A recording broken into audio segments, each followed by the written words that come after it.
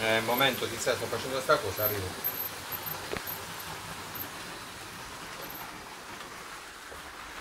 Qualche secondo ancora.